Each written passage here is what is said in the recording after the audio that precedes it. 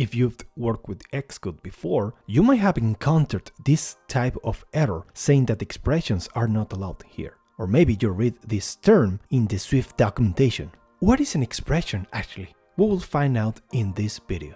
In Swift, an expression is a combination of values, variables, operators, and function calls that are evaluated to produce a single value. It can be as simple as a single value or as complex as a combination of multiple values and operators. There are four types of expressions in Swift. Let's see each of them. The first ones are prefix expressions. Prefix expressions combine an optional prefix operator with an expression. For example, we have in-out expressions to mark a variable in an in-out parameter in a function using ampersand operator, a try expression to indicate an expression might throw an error, and an await expression to indicate that an expression might run in an async context.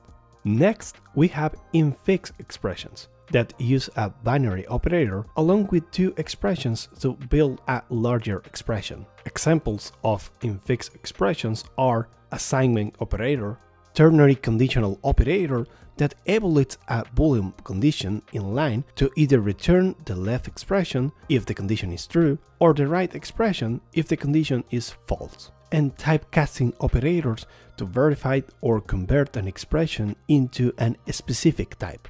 Now we have primary expressions. Those are the most basic kind of expressions, and they can be combined with other kind of expressions too. For example, we have literal expressions like numbers, strings, arrays, dictionaries, booleans, nil, and one of these special literals that work has compiler directives. We will explore all of these compiler directives in a later video. There are even something called playground literals to represent colors, files, and images in Xcode. Next, we have self-expressions to get explicit access to a member, subscript, or initializer from an instance of a type.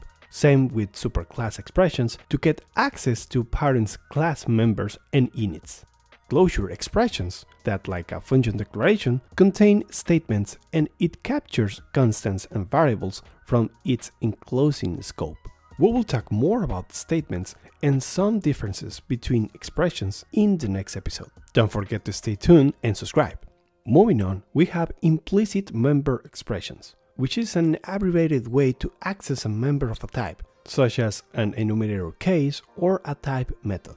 Parenthesized expressions that simply are expressions between parentheses. Tuple expressions that consist of a comma-separated list of expressions surrounded by parentheses. Each expression can have an optional identifier before it, separated by a colon.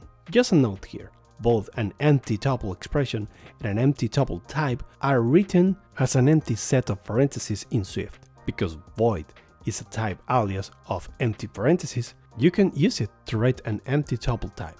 However, like all type aliases, void is always a type. You can't use it to write an empty tuple expression.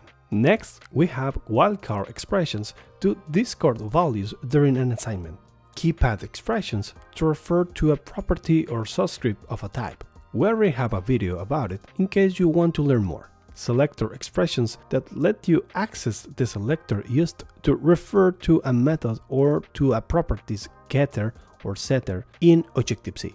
And finally for primary expressions, we have key-path strings expressions that let you access the string used to refer to a property in Objective-C.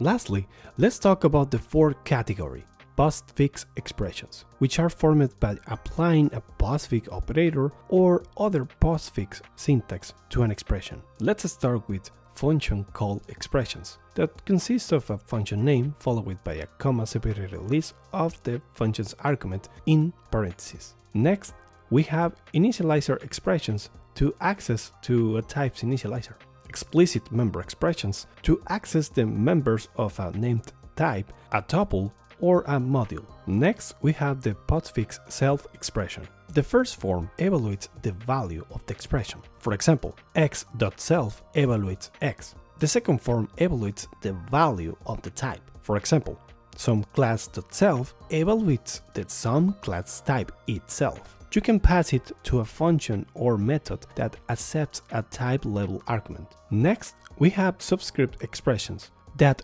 allow to access the variable getter and setter through bracket syntax. If you want to learn more about subscripts, check out the link in the description. Next, we have the favorite of many, force value expression, that allow you to unwrap an optional value. Just be sure it's not nil.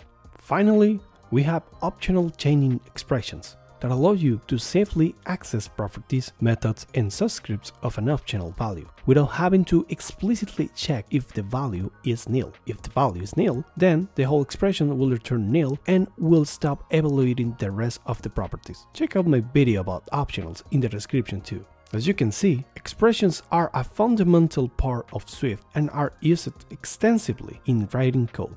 That's it for this video. In the next one, we'll explore statements and see the difference between expressions. My name is Pitt, and this, this is Swift and Tips. Thanks for watching and have a great day.